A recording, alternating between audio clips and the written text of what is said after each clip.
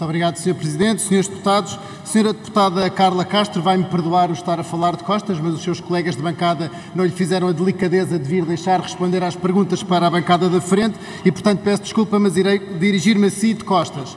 A senhora deputada Carla Castro subiu ali acima e fez, criticou muito, eh, deu, fez o, o, discurso político, a declaração política do bota abaixo, que é exatamente aquilo que, a Iniciativa Liberal tantas vezes acusa o Chega de fazer, de ser o partido do bota abaixo.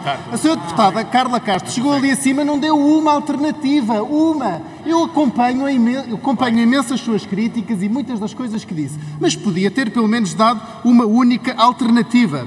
Falou de reformas, mas qual reformas, senhora deputada Carla Castro? Eu até pedi este esclarecimento para lhe dar a oportunidade de nos elucidar a todos quais é que são as reformas que a Iniciativa Liberal de facto tanto defende. E, senhora deputada, esqueceu-se de um setor importantíssimo em Portugal que é a agricultura e queria-lhe uh, pedir esclarecimentos nesse sentido. O, Orçamento de Estado, podemos ver neste gráfico, a agricultura está aqui no penúltimo, na penúltima tabela, no, no, no, no penúltimos, as penúltimas barras.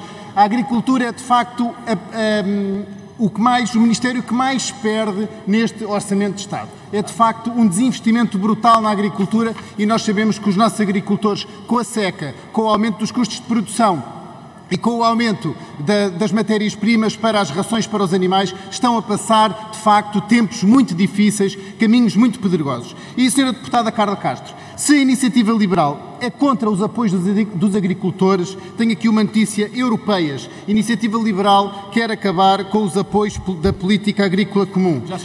Legislativas 2022. A IL quer reduzir dependência direta dos apoios da política agrícola comum. Senhora Deputada, explique-nos lá qual é que é a reforma que quer para a agricultura, qual é que é a reforma que quer para o setor primário, porque é que a, a Iniciativa Liberal não deixa de ser um partido do Príncipe Real e passa a ser um partido dos agricultores, do mundo rural, do Portugal real, das pessoas que vivem na sua terra e que precisam de subsistir e de dar alimento aos seus filhos. Muito obrigado.